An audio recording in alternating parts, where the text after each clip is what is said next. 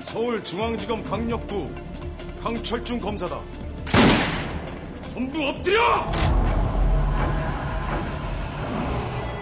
나라 위에 일하시는 어른들 마음껏 도와드리고 싶습니다. 저도 제 돈 쓰고 관리하면서 세상 눈치 보는 거 아주 지겹습니다. 아버지도 안희사 아저씨도 형을 참 좋아했어. 모범생의 아버지를 그대로 빼닮아서. 연속적인 사고들 50년 전통 사업 재단 매각 확인된 것만 약 5천억 원입니다. 명성재단이라고 하네.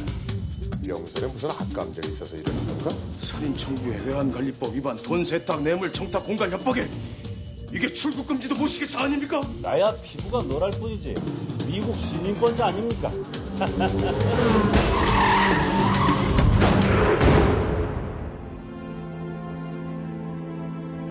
죄송합니다.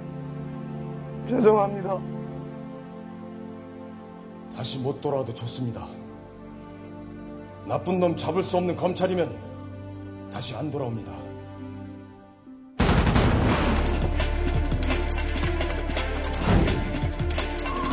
세금 몇만 원 깎아주고 월드컵 축구나 계속 해주면 돼. 니들은 니들끼리 살란 말이야. 버러지 같은 인생들끼리.